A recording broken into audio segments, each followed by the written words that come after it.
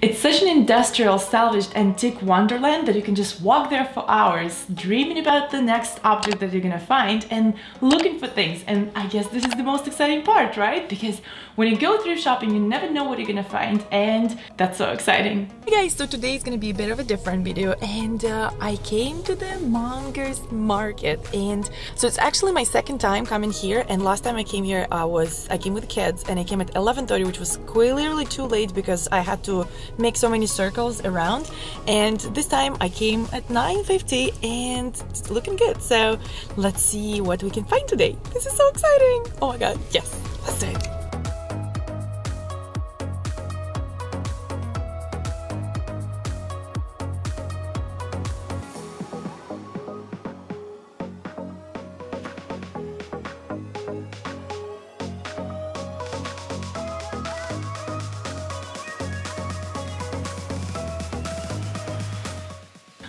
I'm so happy that I found this place. So it's called Mongers Markets and uh, it's located in Bridgeport, Connecticut, which is 30 minutes away from me. So convenient.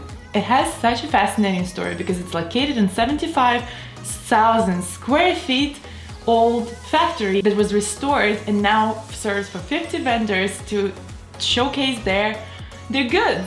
Items are so uniquely displayed and you can find an antique doors, windows, salvaged lumber, furniture, architectural elements, lockers, fireplace mantles. I mean, there's so many things. It's crazy and it looks so amazing. The inventory is always changing and it's open only on Sunday, which was a big challenge for me because I had to figure out the babysitting for the kids, but I did it and I was so not disappointed.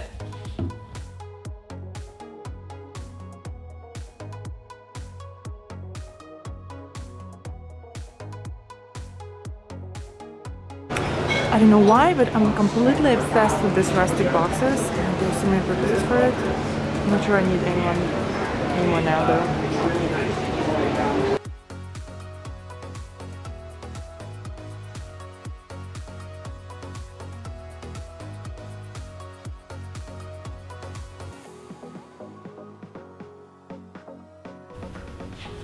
Oh, look at this cute little globe! And there's even a Russian samovar. Oh wow. But although I kind of feel that you can buy it probably cheaper in Russia.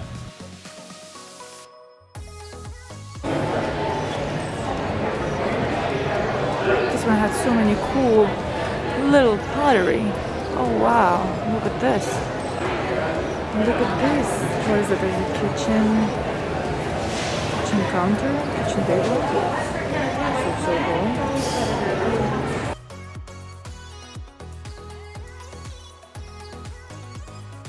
This place is so cool and it's probably gonna inspire your creative juices flowing and gonna inspire you for the next DIY project that you're trying to achieve.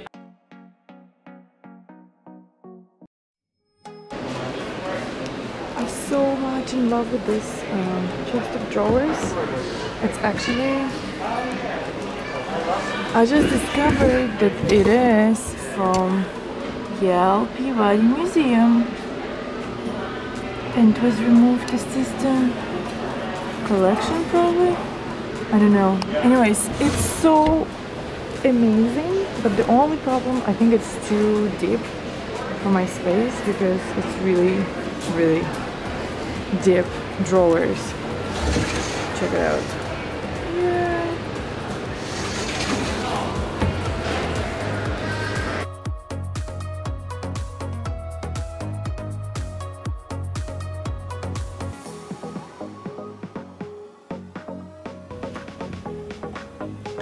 Do you know also that buying salvaged items actually helps our environment and uh, instead of ended up in the landfill, it ends up in your beautiful home and has a completely new life. Isn't it amazing? Mm, such a cool old window, a bit pricey, but remember you can always negotiate. And don't forget that when you look at the object in a thrift store, always try to think about what it could become. So for example, like this big massive door, you can make a room dividers out of it or use it as a headboard. I mean, the possibilities are endless.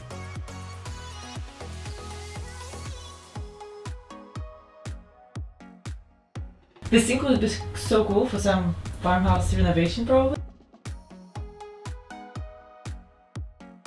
So I came back yesterday. I'm so excited with my purchases and let me start with this vase. When I saw it, I was like, oh my god, this is yellow. And you know how much I love yellow. And look at this bird. And the most fascinating part when you go to thrift stores is to ask for the story and to know like what is the story behind the object. So I asked the lady who sold me this beautiful vase and it was only like $8. I mean, come on, right? So she told me she got this piece from estate sale and uh, the lady who owned that before, she was absolutely obsessed with birds and she loved birds. So there's like a lot of other vases with the birds on it, chest of drawers also that feature birds and it's so fascinating. It's fulfilling to me to know that I'm keeping someone else's legacy in the form of object. Look at this bird. I mean, it's gonna just look so cute on the shelf. So when you buy something in antique malls or like in a flea market, always ask for the story because I'm pretty sure it's gonna be a fascinating one. But let's get to the next object. So this thing I picked up because I was looking for the ball, for the wooden ball to display on my shelf and I could add some beads to it and um, yeah just like make it so pretty and it was only like for five bucks. Come on this is really cool. I don't think it's that old but it looks very cute and looks so rough on the edges which is absolutely love. So here's another tip. When you go thrift shopping, make sure that you take pictures of your space that you are going to decorate because when you know the space and then you see the object, you can pull out the picture and see how it's gonna fit into the space. So I was looking for this kind of bowl for so long, maybe not that long, but I was looking for a bowl like this to put onto my uh, bottom shelf of my bookcase because it had this empty space that I had to fill and I didn't want to put anything too tall. So this is why this shallow bowl gonna look so amazing. I'm so excited.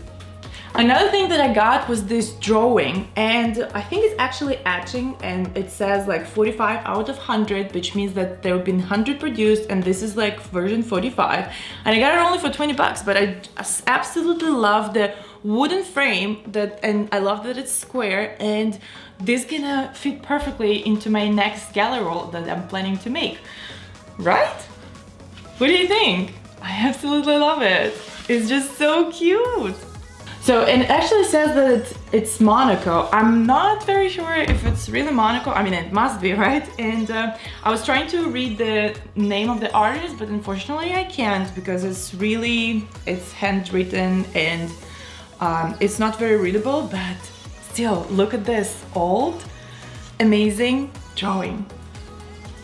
And here comes my absolutely favorite find because I'm absolutely obsessed with globes and I think this is like what I'm collecting now. I'm saying I think I collect them because every time I go to the thrift store and I see another globe that's something that I don't have yet, I'm definitely buying it.